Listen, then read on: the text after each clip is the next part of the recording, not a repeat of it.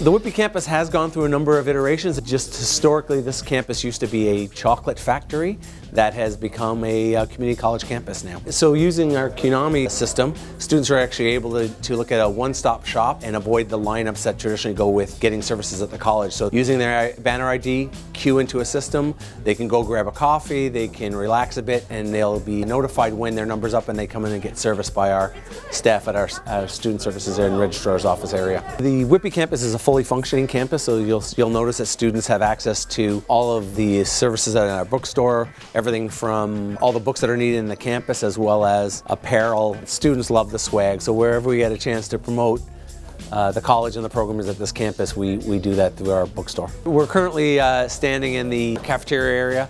We've got, a, again, a fully functioning cafeteria here. There were some renovations that have happened to this area. We knocked out walls to give the area a better feel and, uh, and a better flow for students. We were also able to move our faculty offices and create a whole student space. Our student association actually helped us with talking to students to design this space, but it is a, a, common area now that's used for students. It's really quite exciting when we see students talking to faculty members at the tables, so it's used for a number of different things. So it's really a well-utilized area and it's really added to the student life at this campus. Uh, one of the things we've, we've uh, been trying to address at the Whitby campus is, is uh, the need to include more student life activities for our students. It's quite a dramatic change for us at this campus because we've traditionally been been much more apprenticeship focused. And apprentices come in, they're in usually for a day a week and they, they come to classes and they go home. We are trying to make sure that the students here get a much more well-rounded uh, sense of college life and what that means. Again, as part of the renovations at this campus, we increased the size of our computer commons area. Previous to this, we probably had about 10 or 15 computers in a room but we've seen uh, such an interest in students being able to not only check their own emails and, and, and do their own work on these systems, but with the increased amount of computer related activities in our classrooms, students are being expected to do assignments and projects now in our computer lab. So we expanded the size of this facility and now house about 75 computers in here. We also have at this campus a, a, technician who can support students if they've got any kind of hangups getting into systems. And as I mentioned earlier about our Qnami system, we also have a, a ticketing booth here for Qnami. So if students are working on computers and their number is called, as you can see on the screen, then they know they can leave the computer and go over to the registrar's office to get their services in place. As you can see by our shop facilities, we do both traditional conventional machining and then we actually get students over to the CNC machines where it's computer operated design of equipment. As we move in here, this is the, the millwrights. So these are the guys that keep those machines running.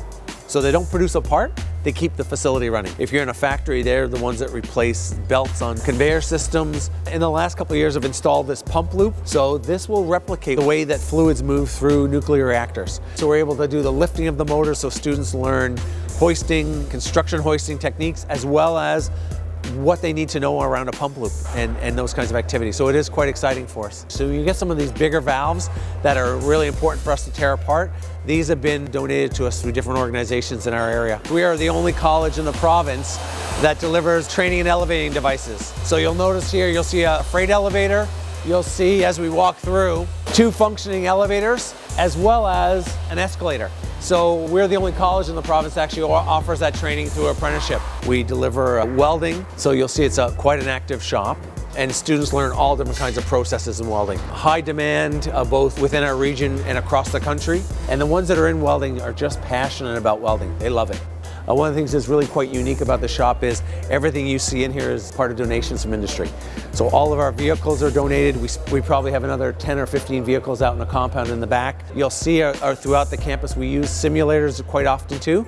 So students are doing work on air conditioning units and cars on simulators before they actually get to the vehicle. So it gives them a chance to try things out before they get in the vehicle and, and actually start doing the work. This campus also houses a number of construction trades. Our two largest are our plumbing programs and our electrical programs programs. We will have upwards of uh, 400 plumbers come through this campus in a year and approximately 600 electrical apprentices. And what we will have above us is we'll have a replica of a house. So if we're doing plumb work, we will do sinks and toilets and showers. And then what students do is they work below to actually determine what the piping is like at the ground level. And just recently, we've received donations, have installed two systems that are now energizing electric vehicles. So we're showing our students how to, how to do the installation of, of these units. The phase one of the building extensions at the Whitby campus included the installation of about 370 solar panels on the roof, six wind turbines, and we installed 32 geothermal wells at the front of the building that go down about 350 feet. So you'll see the white pipe work is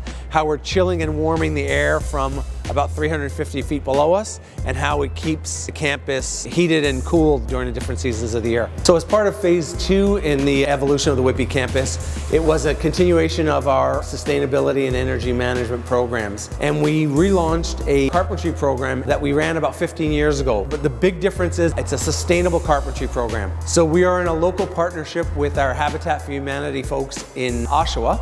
And we're not only helping to construct the houses that they're building in Oshawa, but we're helping them deconstruct homes.